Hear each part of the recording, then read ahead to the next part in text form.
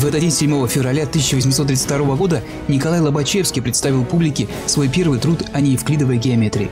7 февраля 1847 года в России была проведена первая операция с использованием эфирной анестезии. Доктор Иноземцев сделал это спустя буквально несколько месяцев после такой же операции в США.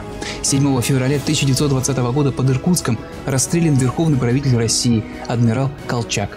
7 февраля 1924 года установлены дипотношения между СССР и Италией. В этот день 7 февраля родились Владимир Маковский, художник-передвижник, Петр Струве, русский экономист и философ, вдохновитель знаменитого сборника статей «Вехи», Олег Антонов, советский авиаконструктор.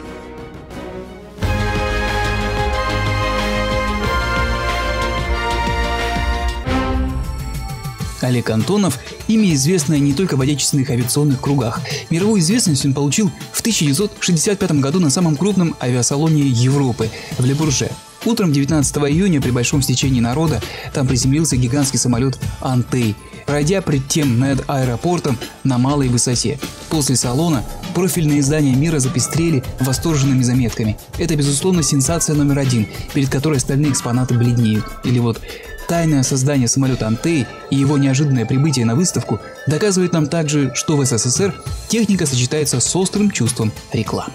Для 59-летнего конструктора это был один из самых запоминающихся моментов жизни и карьеры. Путь к нему он начал еще в детстве.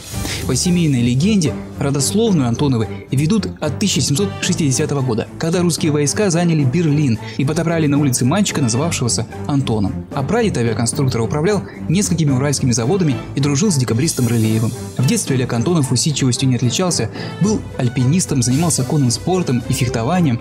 Ранняя юность его прошла в Саратове, городке довольно глубоко глухом. Развлекали юного Олега рассказы двоюродного брата-студента, приезжавшего в гости из Москвы. Он и заронил в нем тягу к небу. Родители увлечения всерьез не воспринимали. И только бабушка все поняла, вспоминал много лет спустя именитый конструктор. Подарила мне модель аэроплана с резиномотором. Тоненькие палочки, ниточки, бумага. Сначала мне было приятно ее рассматривать и запускать, а дальше я уже стал строить модели сам. Первый планер он собрал в 18 лет в Саратове, в кружке планеристов, основанном им же. В 25 году Антонов поступил в Ленинградский политехнический институт на факультет кораблестроения со специализацией гидроавиация. И уже в какие-то 27 лет он стал главным конструктором планерного завода в столице. Первое время он трудился в перестроенном винном погребе, пока строилось здание Тушинского завода. Соседом по производству был Сергей Королев. Первая волна репрессий унесла руководство завода.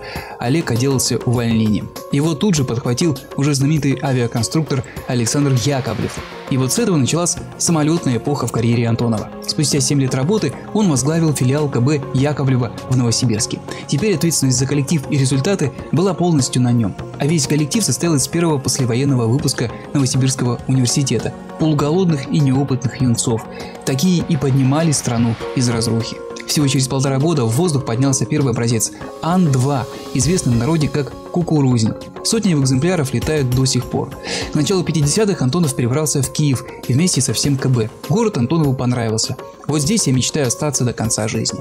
Так и вышло. Всесоюзную известность он получил здесь. И в Киеве он сконструировал легенды отечественной и мировой авиации. Антей, вызвавший восторги во Франции, и его более совершенный наследник Ан-124 Руслан. Пассажирской авиацией он занимался немного, особенно после первой катастрофы Ан-10 в 1959 году. Конструктор признавался, что после этого не раз просыпался в холодном поту. Транспортную же авиацию России и СССР сложно представить без Антонова и его гигантов. На закате жизни в конце 70-х, одолеваемый хроническим туберкулезом, он продолжал работу в КБ и обучал новых специалистов. Умер в 1984 году, похоронен с почестями как народный герой, которым, собственно, он и был. Киевская КБ в том же году стала КБ имени Антонова.